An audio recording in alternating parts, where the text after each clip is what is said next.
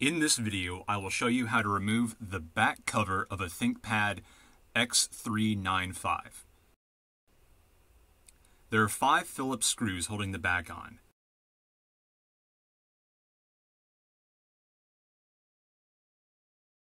To remove the cover, ideally you would want to use a guitar pick.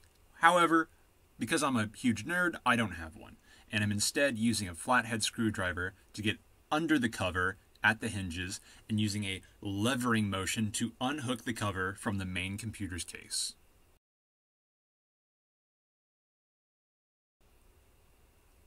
Now we come to the tricky part. After opening the case in the back, I am still unable to open it. This is because there is a hook in the middle of the case holding the back onto the battery.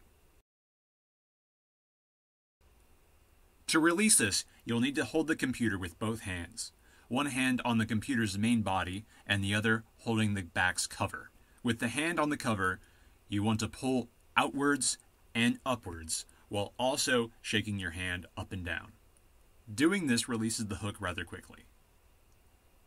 Here's the hook on the computer, which is meant to hold on to this edge on the battery.